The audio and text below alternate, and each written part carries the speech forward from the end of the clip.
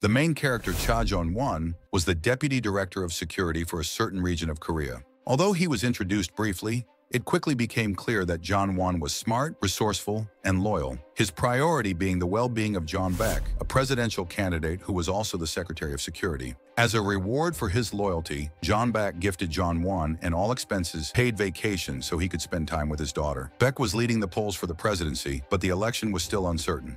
Later, Yan Wan and his young daughter, Kyung Min, headed to the airport, but first made a stop to refuel at a gas station run by a suspicious-looking attendant. John Wan, sensing something wasn't right, decided to pay the station owner directly upon returning from his trip. The audience is then introduced to other key characters, a semi-professional golfer and her sister, who missed their flight because of expired passports, and an elderly couple who just wanted to get home after a long trip. Coincidentally, on that very day, a thick mist appeared, making driving difficult. One reckless driver in a sports car, speeding like a maniac, caused a major accident on the suspension bridge. The elderly couple's bus, the golfer's car, and even a suspicious convoy transporting a guarded armored box were all involved in the crash. As a result, even John Won's car got caught in the chaos. He stepped out to assess the situation and found two soldiers guarding a man who seemed important. The man ordered the soldiers to check the status of the armored box, and upon doing so, they discovered that the box had been opened and one of their comrades was dead.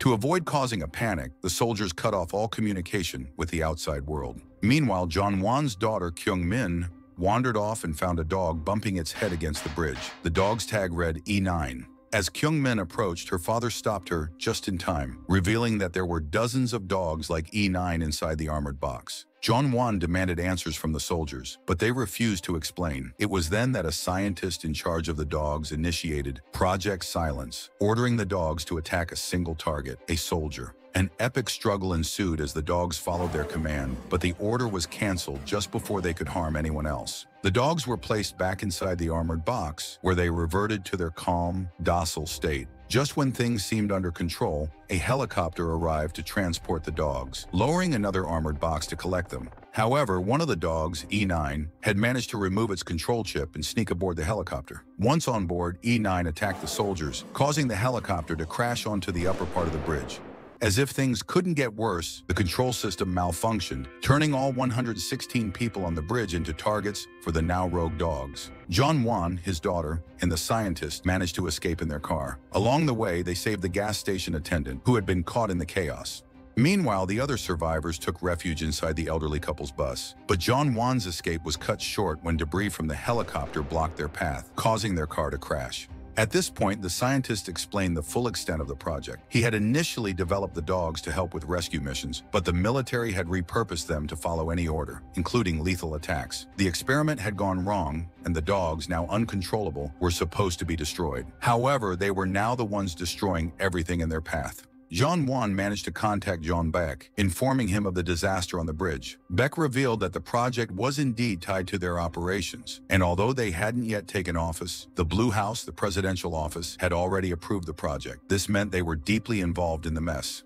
Meanwhile, the bus carrying the elderly couple approached John Wan's location just in time, saving him and his daughter from a tanker leaking toxic waste. But things went from bad to worse when the helicopter explosion caused the bridge to partially collapse, leaving the survivors stranded. Trying to calm the group, John Wan revealed his position as part of the Blue House Committee and assured everyone that help was on the way. To avoid a bigger panic, he lied about the dogs, telling the group they were rabid. Minutes later, a rescue team arrived, evacuating the survivors from the bus. However, things took a deadly turn when the dogs attacked again, wiping out the rescue team and injuring the elderly woman, the golfer's sister, and John Wan himself. Fortunately, none of them died, the scientists then revealed another key detail. All the dogs on the bridge were clones of E9, the rogue dog that had removed its control chip. Unfortunately, after a brief but intense struggle, the elderly woman succumbed to her injuries. Her husband, having no will to continue without her, chose to stay by her side and used his final moments to hold the hatch closed, keeping the dogs out. Meanwhile, the rest of the group made it to the edge of the bridge, but the promised rescue was nowhere to be found. At this point, the scientist asked John Wan who he had been communicating with on the radio. When John told him it was John Beck, the scientist dropped a bombshell. The Silence Project had actually been Beck's idea, and it was the creation of this project that had given him the political leverage to run for president. John Wan, feeling utterly betrayed, decided to confront Beck. Even though Beck remained silent, John Juan announced that he was going to lead the remaining survivors to Seoul, and if they made it, he would expose the entire truth to the press, regardless of the political fallout.